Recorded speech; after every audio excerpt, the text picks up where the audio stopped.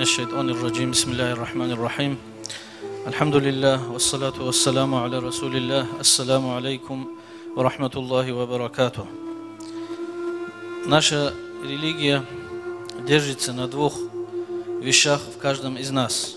Первое – это убеждение. Убеждение, которое привело тебя к пониманию, знанию, что нет божества, кроме единого Аллаха, и Мухаммад его посланник, и другие вещи, которые составляют твою веру во Всевышнего Аллаха. И вторая основа – это любовь. Любовь к Аллаху, любовь к посланнику Аллаха, саллаллаху алейхи вассаляма. Ибо посланник Аллаха, саллаллаху сказал – «Валлахи ля юмину». Поклялся, он сказал, клянусь Аллахом, не уверует из вас никто до тех пор, пока не возлюбит меня больше всего на свете, больше своих родителей, больше своих детей, пока он не возлюбит меня, сказал посланник Аллаха. И вот эта любовь, то, к чему мы все стремимся – посредством изучения жизни пророка, посредством присутствия вот на подобных мероприятиях, маджлисах. Мусульманин должен всегда иметь свою цель. Цель наша, что бы он ни делал, какое бы действие он ни совершал, там должна быть цель, которую мы все называем ният. Наше намерение должно быть посредством участия в мавлидах, изучения слушание э, его жизнеописаний, цель должна быть увеличить свою любовь к пророку, саллаллаху алейхи вассаляма. И тогда, так как это чувство, именно это чувство, чувство любви к Аллаху, любви к посланнику Аллаха, расставляет многие наши проблемы, решает многие наши проблемы, ставит все на свои места. Одним из таких является наша любовь друг к другу. Любящий пророка – не может любить своего брата уверовавшего. Мы все много говорим о братстве, много говорим о любви друг к другу, но на деле нам многое еще предстоит сделать. Посланник, то есть тот аят священного Корана, где Аллаху Та'аля говорит «Аузу биллахи минаш шайтанир раджим, бисмиллахи рахманир рахим, инна халякнакум шуубан ва кабаиля литаарафу, «Инна акрамакум инда Аллахи аткакум».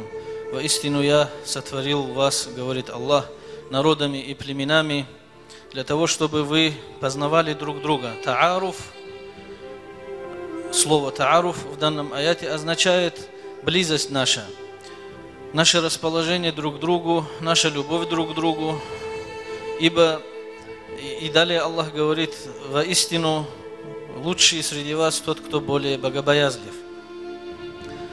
Сегодня наше единство, нашему единству угрожают очень много разных вещей, разных факторов.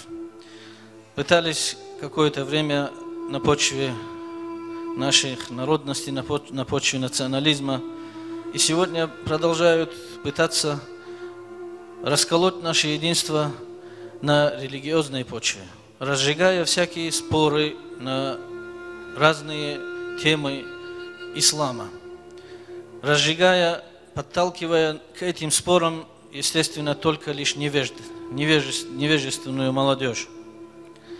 Сегодня стало модным спорить, вот я вот что-то э, вычитал где-то, и вот я, я на эту тему должен поспорить, я должен это доказать. Это глубочайшее заблуждение. Спорить в вопросах религии, споры не должны вообще возникать возникать должны научные диспуты в кругу компетентных алимов, которые умеют друг друга выслушивать, которые вооружены аргументами. И вот споры по поводу религиозных вопросов – это их вопрос, это их дело. А молодые люди, простой народ в вопросах религии должен говорить «я не знаю». Исследовать, конечно, за тем человеком, кого знанием кого богобоязливости он доверяет. Даже если он видит, что этот человек не прав, а он лично прав, он обязан воздержаться от споров. Ибо посланник Аллаха саллаху в одном из своих хадисов сказал, тот, кто воздержался от споров, будучи правым, ему аджир вдвойне, сказал посланник Аллаха. Ему будет аджир вдвое больше. И также в другом хадисе посланник Аллаха сказал, Аллах какой-либо народ не погубил, кроме как предоставив им споры. Споры – это то, что нас сегодня раскалывают.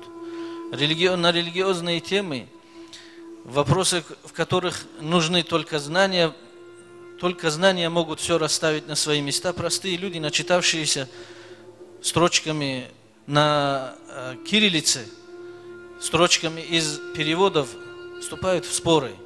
И эти неправы, и те, кто вступают с ними в споры, тоже, я считаю, неправы. Нельзя спорить. Если кто-то начинает спор, а и второй не, не делает шаг назад, не прекращает спор, спор продолжается и перерастает в более, перерастает в неприязнь, потом во вражду. Вот это нужно прекратить. Оставьте споры алимам, пусть они спорят. Они умеют спорить, они умеют э, это делать. И вот, читая аят священного Корана, который я прочитал, Аллаху Та'аля говорит, «Ауду раджим, я сотворил, инна халакнакум шу'убам ва кабаиля» я вас сотворил народами и племенами.